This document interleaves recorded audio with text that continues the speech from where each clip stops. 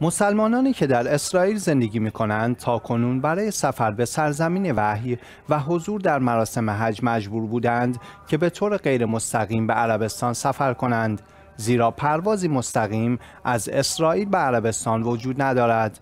اما اکنون مقام های اسرائیلی تلاش می کنند سفری مستقیم بین اسرائیل و عربستان برقرار کنند.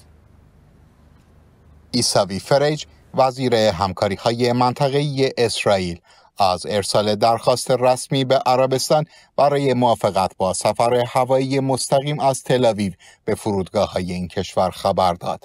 طبق گزارش پایگاه خبری روسیه الیوم و به نقل از منابع خبری ابری زبان وزیر همکاری های منطقه اسرائیل آن کرده که من این موضوع را با عربستان در میان گذاشتم و امیدوارم این روز به زودی فرا برسد.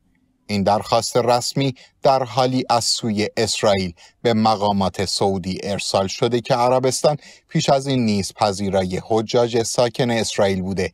اما این مسافران باید از طریق کشورهای سالس وارد عربستان می شدن.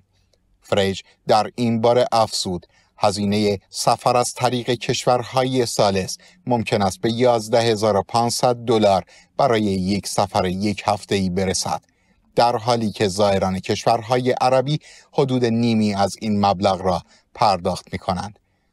این در حالی است که عربستان پس از روند عادی سازی روابط عربی با اسرائیل که توسط امارات و بحرین در سال 2020 میلادی صورت گرفت به هواپیماهای اسرائیلی اجازه عبور از حریم هوایی این کشور را داده بود. اقدامی که همکنون منجر به افزایش سفرهای هوایی تجار اسرائیل با هواپیماهای شخصی به ریاض و جده شده است. علی اکبری اخبار شیعه